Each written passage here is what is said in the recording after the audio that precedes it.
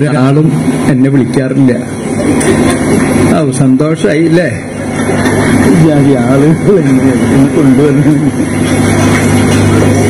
തോറ്റു കഴിഞ്ഞപ്പോ ആരെങ്കിലും അല്ലെങ്കിൽ ഫോണിൽ ഭയങ്കര വിളികളാണ് ആ തീവണ്ടി കൊരട്ടിയിൽ നിർത്തണം. ആ തീവണ്ടി ചാലക്കുടിയിൽ നിർത്തണം. പിന്നെ ഞാൻ തൃശ്ശൂരാണ് ജോലി ചെയ്യുന്നത്. അതുകൊണ്ട് കൊരട്ടിയിൽ ഈ വണ്ടി നിർത്തിയ വണ്ടിയിൽ ഒരു പ്രത്യേക പേരുണ്ട്. പുരന്തരല്ല ലോകം അവസാനിക്കുന്നത് വരെ കൊരട്ടിയിൽ ആ വണ്ടി നിർത്തില്ല. അതെനിക്കറിയാം. പക്ഷേ എം പി ആയി പോയതുകൊണ്ട് ഞാൻ ഇതും കൊണ്ട് അവിടെ ചെല്ലും. ഡൽഹിയിൽ അവിടെ ചെല്ലുമ്പോൾ ഒരു പ്രാവശ്യം ചെന്നു. രണ്ടാമത്തെ പ്രാവശ്യം മൂന്നാമത്തെ പ്രാവശ്യം ആ മന്ത്രി വേറെ ആരോടോ സ്വകാര്യം പറഞ്ഞു. കാരണം സ്വകാര്യം ഏകദേശം എനിക്ക് മനസ്സിലായി. ഇയാൾക്ക് തലയ്ക്ക് വല്ല അസുഖമുണ്ടോ എന്നാണ് ആ വണ്ടി ഇവിടെ നിർത്തി കഴിഞ്ഞ തിരുവനന്തപുരത്ത് നിർത്തി കഴിഞ്ഞ പിന്നെ എറണാകുളത്താണ്. അത് കഴിഞ്ഞാൽ പിന്നെ വേറെ എവിടെയാണ്? ആ സാധനമാണ് കൊരട്ടിയിൽ നിർത്തണം എന്ന് പറയുന്നത്. അപ്പോ സൈക്യ വയ്യാണ്ടായപ്പോ ഒരു ദിവസം അയാൾ വിളിച്ചപ്പോ ഞാൻ പറഞ്ഞു നിങ്ങൾക്ക് ഇപ്പൊ എന്താ വേണ്ടേ? ഈ വണ്ടി കൊരട്ടയിൽ നിർത്തണം. ഇത്രയല്ലേ വേണ്ടു? അതെ നിർത്തിത്തരാം. അയാൾ അടുത്തല്ലാത്തത് കൊണ്ട് എന്നെ കെട്ടിപ്പിടിച്ചില്ല എന്ന് മാത്രമേ ഉള്ളൂ. അയാൾ പറഞ്ഞു ഇവിടെ പല എം പിമാരുണ്ടായിട്ടുണ്ട് പല മന്ത്രിമാരുണ്ടായിട്ടുണ്ട്. പക്ഷെ അത്രയും വൃത്തിയായിട്ട് കാര്യങ്ങൾ പറഞ്ഞ ഒരു എം പി വേറെ ഇല്ല. എങ്ങനെയാണ് സാറേ സാറിന് ഞാൻ പുകഴ്ത്തി പറയേണ്ടത്? എന്നൊക്കെ പറഞ്ഞിട്ട് ഭയങ്കര എല്ലാം കഴിഞ്ഞപ്പോ ഞാൻ പറഞ്ഞു ഞാൻ നിർത്തിത്തരാം. പിന്നെ അവിടുന്ന് ആ വണ്ടി പോവില്ല. അവിടെ തന്നെ നിൽക്കും. പിന്നെ അയാൾ എന്നെ വിളിച്ചിട്ടില്ല. പിന്നെ എങ്ങനെയാ തോൽക്കാണ്ടിരിക്കുക? മനസ്സിലായ? പലർക്കും അതുപോലെ ചുട്ട മറുപടികൾ ഞാൻ കൊടുത്തിട്ടുണ്ട്. അതെന്റെ ഒരു മനസ്സമാധാനം. ഞാൻ ഇവിടെ എന്റെ വീട്ടിലെ ഇലക്ഷൻ റിപ്പോർട്ട് വന്നുകൊണ്ടിരിക്കുകയാണ് ടി വിയിൽ നമ്മുടെ ചെയർമാൻ ജോസ് ചിറ്റിലപ്പള്ളി ഉണ്ട് വേറെ എന്റെ ഭാര്യ മക്കൾ എല്ലാവരും ഇതിങ്ങനെ വരുമ്പോ വിചാരിക്കും മുളപ്പ ജയിക്കും ഇപ്പൊ ജയിക്കും. നിങ്ങളങ്ങനെ ചിരിക്കണ്ട. എനിക്ക് മനസ്സിലായി. ആ ചിരി ഇപ്പോഴെങ്കിലും നീ പാഠം പഠിച്ചില്ലടാ. അതാണെന്ന് എനിക്ക് മനസ്സിലായി. എന്നാലും എനിക്ക് കുഴപ്പമില്ല. എനിക്ക് സന്തോഷമാണ് കാരണം എന്റെ നാട്ടുകാര് എന്റെ വീട്ടുകാര് പോലുള്ള ആൾക്കാര് എന്നെ പറ്റി കളിയാക്കി ചിരിക്കുമ്പോഴും എനിക്ക് എനിക്കതിൽ ചെറിയൊരു സുഖമുണ്ട്. ആ കളിയാക്കലിൽ നിന്നൊക്കെ പഠിച്ച പാഠമാണ് ഞാൻ ഇപ്പോഴും പല സ്ഥലത്ത് പ്രയോഗിക്കുന്നത്. എന്തായാലും അതിങ്ങനെ എലക്ഷൻ വന്നുകൊണ്ടിരുന്നു. അപ്പോ കുറച്ചു കഴിഞ്ഞപ്പോ എന്റെ മുകളിലായി മറ്റേ ആൾ അത് കഴിഞ്ഞ് പിന്നെ കുറച്ചും കൂടെ മുകളിൽ കയറി കഴിഞ്ഞപ്പോ ഞാൻ വെറുതെ മിസ്റ്റർ ജോസ് ചേർന്ന് അദ്ദേഹത്തിനോട് പറഞ്ഞു അപ്പൊ അദ്ദേഹം എന്നോട് പറഞ്ഞു കയ്പമംഗലം എണ്ണീട്ടില്ല. മനസ്സിലായില്ലേ? കയ്പമംഗല. കേൾക്കണം കയ്പമംഗലം എണ്ണീട്ടില്ല അപ്പൊ കാണാം. അങ്ങനെ ഇരിക്കുമ്പോ കയ്പമംഗലം എണ്ണി. അപ്പോ ഒന്നും കൂടി താഴ്ത്തിക്ക് വന്നു പിന്നെ നമുക്ക് തോന്നിയത് എന്റെ നോക്കലല്ല. മറ്റുള്ള സ്ഥലങ്ങളിലുള്ള നമ്മുടെ ആളുകൾ എങ്ങനെയാണെന്നുള്ളത് അപ്പൊ അവിടെയും ഇത് തന്നെ അപ്പോഴാണ് എനിക്കൊരു മനസ്സമാധാനം. ഇത് മനുഷ്യന്റെ സ്വഭാവമാണ്. നിങ്ങൾ ആലോചിക്കണം. തൃശ്ശൂര് അല്ലെങ്കിൽ എല്ലാ സ്ഥലങ്ങളിലും എല്ലാവരും വളരെ താഴെ. ആ താഴേക്ക് പോയപ്പോ തുടക്കത്തിൽ എനിക്കൊരു മാനസിക വിഷമമുണ്ടായി. നമ്മളൊരു ഇലക്ഷൻ വന്നിട്ട് എനിക്കൊരു ചുക്കുമില്ല. എന്നല്ല.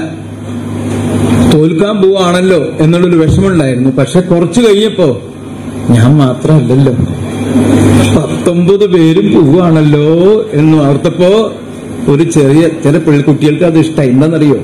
ഈ ചില എക്സാമിനൊക്കെ അല്ലേ? നമുക്ക് കിട്ടിയില്ലെങ്കിലും കുറെ ആളുകൾക്ക് ഒരുമിച്ച് കിട്ടില്ലെങ്കിൽ നമുക്കൊരു മനസ്സമാധാനമുണ്ട്.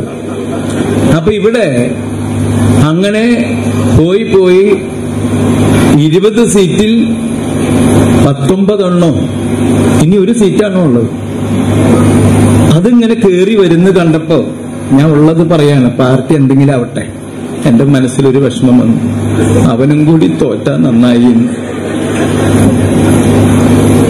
ഞാൻ മനുഷ്യന്റെ സ്വഭാവത്തെ പറ്റി പറയാ. അതേ സമയത്ത് ഞാനും അല്ലെങ്കിൽ ഈ പത്തൊമ്പത് പേരിൽ ഇരുപത് പേരിൽ ഞാൻ മാത്രം തോറ്റു എന്ന് പറഞ്ഞാൽ എനിക്ക് എഴുന്നേറ്റ് നടക്കാൻ പറ്റുമോ?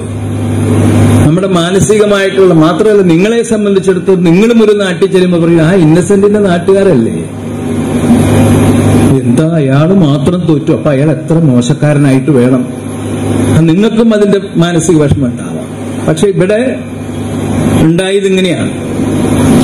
മനസ്സിന് സന്തോഷം തരുന്നതിന്റെ ഇടയ്ക്ക് ആ ആലപ്പുഴയിൽ മാത്രം ആ അരിഫ് എനിക്ക് ചെറിയൊരു ദുഃഖം തന്നു.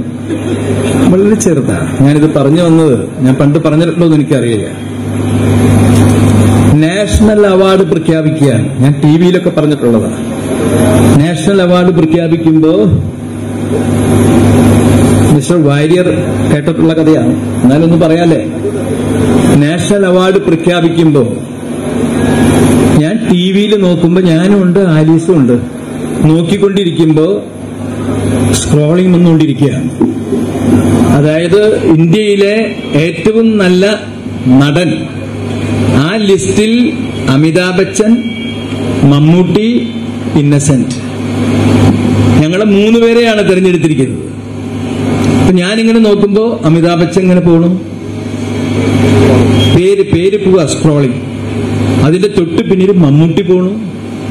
അതിന്റെ തൊട്ട് പിന്നിൽ ഇന്നസെന്റ് പോണു. പത്താം നിലയിലെ തീവണ്ടി എന്ന് പറയുന്ന ഒരു സിനിമയ്ക്കകത്തെ കഥാപാത്രത്തിനാണ് എന്നെ ഈ നാഷണൽ ലെവലിലേക്ക് വിളിച്ചിരിക്കുന്നത് എടുത്തിരിക്കുന്നത്. കുറച്ചു കഴിഞ്ഞപ്പോ ഞാനിങ്ങനെ ഒരു റൗണ്ട് കഴിഞ്ഞു രണ്ട് റൗണ്ട് കഴിഞ്ഞു. മൂന്നാമത്തെ റൗണ്ട് വന്നപ്പോ ഞാൻ ഇല്ല അപ്പൊ ഞാൻ നന്നായിട്ട് നോക്കി ഞാൻ ഉണ്ടോ എന്നുള്ളു. ഇല്ല പിന്നെ അമിതാഭ് ബച്ചനും മമ്മൂട്ടിയും മാത്രമായി ഞാൻ ആ ടി വിയുടെ അറ്റത്ത് പോയിട്ട് ഇങ്ങനെ നോക്കിയാൽ അതിന്റെ ഉള്ളിൽ നിന്ന് വരുന്നുണ്ടെങ്കിൽ അവിടെ തടഞ്ഞു നിൽക്കുകയാണോ നമുക്ക് അറിയില്ലല്ലോ ഇല്ല തടഞ്ഞു നിൽക്കല്ല കഴിഞ്ഞു. അങ്ങനെ ആ സമയത്ത് ഞാൻ എന്റെ മനസ്സിൽ വിചാരിച്ചതാണ് അമിതാഭ് ബച്ചനും മമ്മൂട്ടി മാത്രമേ ഉള്ളൂ. മമ്മൂട്ടിക്ക് കിട്ടരുത്. അമിതാഭ് ബച്ചന് കിട്ടട്ടെ. എന്റെ ഉള്ളിൽ തോന്നി. ഒരു റൗണ്ട് കഴിഞ്ഞപ്പോ മമ്മൂട്ടി ഔട്ടായി. അമിതാഭ് മാത്രമായി. ഒരു മനസമാധാനം എനിക്ക്. അപ്പൊ ഞാൻ അതിനേക്കാൾ മുമ്പ് ആലീസിന്റെ അടുക്ക പറഞ്ഞു നമ്മുടെ തലയിൽ വന്ന് വീഴുമോ ഏത്? ഈ അവാർഡ്. അപ്പൊ ആലീസ് പറഞ്ഞു പേടിക്കേണ്ട ഒരു കാരണവശാലും വന്ന് വീഴില്ല. എന്തായാലും ഇയാൾക്ക് കിട്ടി എന്ന് കണ്ടപ്പോ മമ്മൂട്ടിക്ക് ഇല്ല എന്ന് വന്നപ്പോഴും ഒരു മനസമാധാനം ഉണ്ടെങ്കിലും ആ മനസമാധാനം പെട്ടെന്ന് പോയി. വേറൊന്നുമല്ല. എന്റെ മമ്മൂട്ടിയുടെ അച്ഛനായിട്ട് ഞാൻ അഭിനയിച്ചിട്ടുണ്ട്.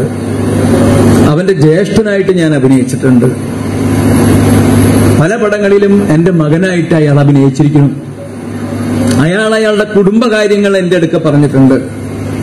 എന്റെ കുടുംബകാര്യങ്ങൾ അയാളോട് പറഞ്ഞിട്ടുണ്ട്. പല പ്രശ്നങ്ങളും കാര്യങ്ങളൊക്കെ. അത്രയും അടുപ്പമുള്ള അമ്മ എന്ന് പറയുന്ന സംഘടനയിൽ എന്റെ കൂടെ കുറെ കാലം അദ്ദേഹം സെക്രട്ടറി ആയിരുന്നു. അത്രയും അടുപ്പമുള്ള ഒരാളെ. അയാൾക്ക് കിട്ടരുത് എന്നും അമിതാഭ് ബച്ചന് കിട്ടിക്കോട്ടെ എന്നും ഞാൻ എന്തിനാണ് ആലോചിച്ചത്? എനിക്ക് ആകെ പ്രശ്നമായി. പക്ഷെ എനിക്ക് ഉത്തരം കിട്ടി. ഉത്തരം വേറെ ഒന്നുമല്ല ഉത്തരം ഇതാണ്. ഇങ്ങനെയുള്ള ഒരുപാട് ഒരുപാട് കുശുമ്പും കുന്നായ്മയും അസൂയയും ഒക്കെ ചേർന്നതാണ് മനുഷ്യൻ.